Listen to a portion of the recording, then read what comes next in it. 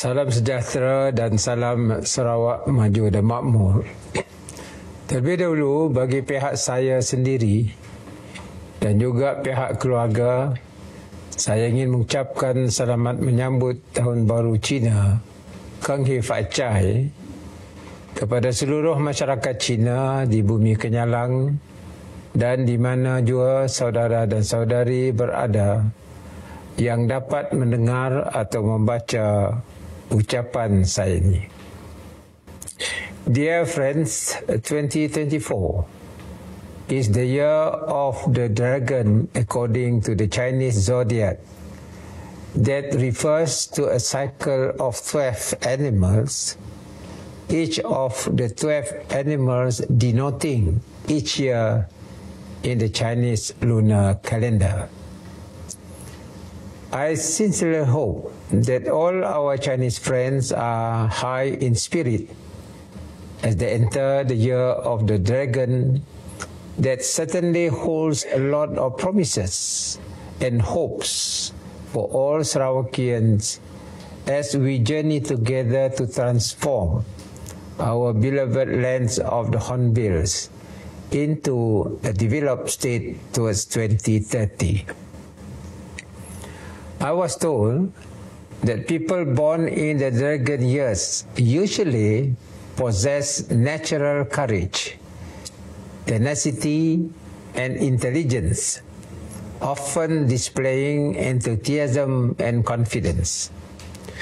I sincerely hope that these are the qualities and traits that we must have as we move forward in 2024 and together make it another successful year for Sarawak. Friends, there are three things that we hope to achieve for Sarawak in 2024 in our ambition to create a wholesome environment for progress and advancement in the state. Now let me share with you what the three things are that lie ahead as we progress into 2024. Firstly, as you may be aware, after 43 years of its establishment, we want to take back Bintulu Port from the federal government.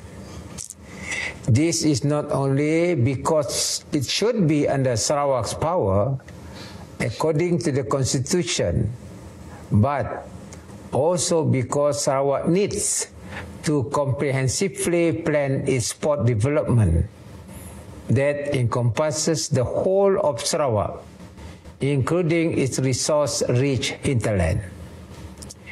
This is much like taking back Bakun Hydro from the federal authority to enable us to be in control of the power to determine our own power tariff in order to attract investment in energy intensive industries in Sarawak, especially in the Samalaju industrial zone near Bintulu. Secondly, we aspire to have an airline to serve not only our rural areas, but also to provide connectivity to selected destination in the Asian region. We need to invest in creating air linkages between Sarawak and the rest of the region, not only to bring in tourists, but also to facilitate air travel to boost business and investment in Sarawak. Sarawak is situated on an island and the only way to bring people in is to fly them in. I hope that we can finalize the negotiation with the federal authorities soon and gain control of the airline within this year, God willing. Thirdly, we also aspire to have a major stake in a commercial bank to provide Sarawak a financial platform to boost the economy further through the development of SMEs and entrepreneurship. Sarawak already has some stake in this particular bank and we want to increase our stake. I am confident that we can conclude the negotiation soon so that we can participate actively in the running of the bank and be able to serve Sarawak's interests well. These are the three strategic platforms that Sarawak should have to create an ecosystem to uplift Sarawak's economy to the next level. Dear friends, Sarawak's strength lies in its wealth of natural resources that include water and sunlight. We have harnessed about 3.5 gigawatt of our hydro potential with an overall potential of 20 gigawatt. For the future, we would want to change the way of producing hydropower by using energy from running water instead of creating a large reservoir of water that would certainly flood a large area. We also want to harness in a big way the solar energy potential, particularly using the floating solar panels in our hydro dam reservoirs. These are renewable resources which we must exploit in accordance with the goals set by, by the United Nations under the SDG or Social Development Goals that are meant not only to boost the economy as measured by the growth of GDP, but also to benefit the people across the board.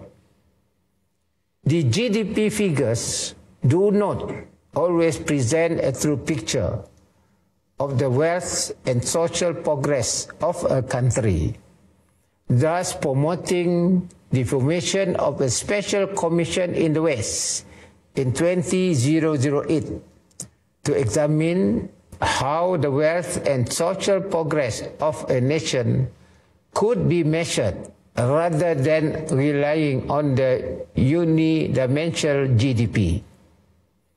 The Commission report has led to the adoption of the SDG by the UN that has been the basis the post-COVID-19 Development Strategy 2030 or PCDS 2030 formulation of a roadmap for Sarawak's development towards 2030.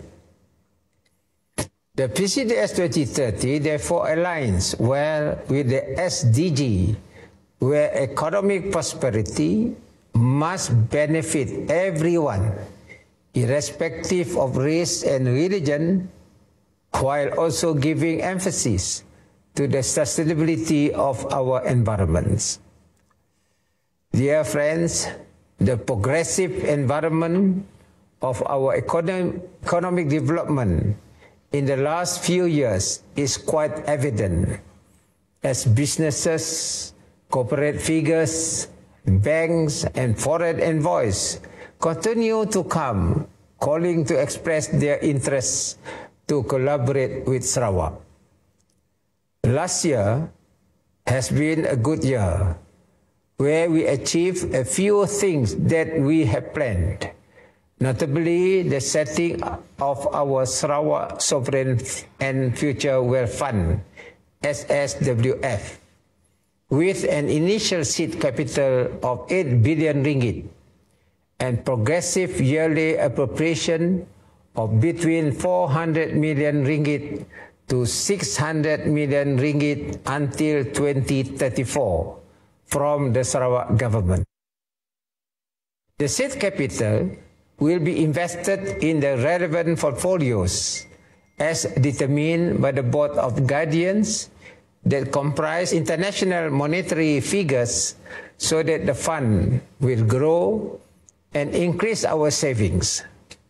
The fund board will report to the Dewan Undangan Negeri with provision that there is no withdrawal for the next 20 years under normal circumstances. We are able to set up the SSWF because Sarawak has quite a strong saving and our revenue continues to rise to record figures. Last year, Sarawak revenue stood at 13.3 billion ringgit, and I believe it will continue to rise next year and in the years ahead as our economy continues to strengthen. Dear friend, as Premier, what I want to tell our Chinese friends and fellow Sarawakian is that the environment now is conducive for business to flourish. And our beloved Sarawak is quite on its way to achieve a developed state status by 2030. With our political stability and social cohesiveness, I am confident that we can achieve that, inshallah. Let us not dwell on trivialities, but always look at the bigger picture to enable Sarawak to stand tall as a strong economic force in Malaysia and in the region. Finally, let me once again wish all our Chinese friends Keng Hi Fat Chai. May the year of the dragon be another successful year for Sarawak and for all of us. Semoga saudara dan saudari bergembira di samping ahli keluarga, sahabat handai dan kawan-kawan yang datang berkunjung untuk sama-sama meraihkan tahun baru Cina pada tahun ini. Kongsi Pak Chai, Cinian Kaula. Terima kasih.